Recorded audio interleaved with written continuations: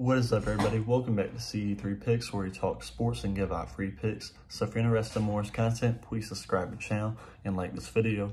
Also, if you're interested in my Instagram, my Twitter, that's where my VIP picks are, my personal plays that I'm taking myself each day. So if you're interested in that, contact me and we can get you set up. Well, let's get this MLB matchup between the Atlanta Braves and the Los Angeles Dodgers. Both teams playing pretty good right now. The Braves 7-3 in their last 10 games. The Dodgers 7-3 in their last 10 games. But at, at home this year, the Dodgers have been great. 43 and 23 at home this year. But then you look at the Braves, they also been really good on the road this year. They've actually been better on the road this year than they've been at home. 37 27 on the road, 33 and 32 on the at home. So very interesting stat there. But as we know, the Dodgers bullpen pitching has been great as of lately. Um, the Braves, their pitching hasn't been terrible, but still not as good as the Dodgers, obviously.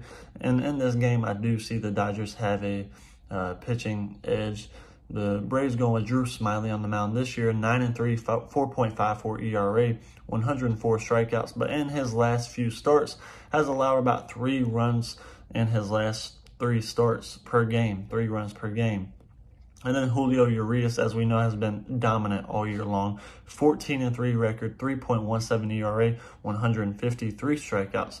And his past few games has only allowed uh, two runs in his last three starts, so not many people have been hitting the ball on him.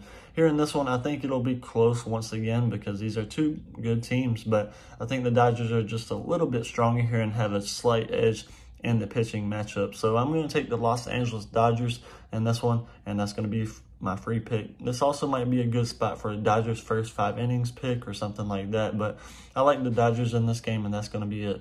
Please subscribe to the channel and like this video for more free picks.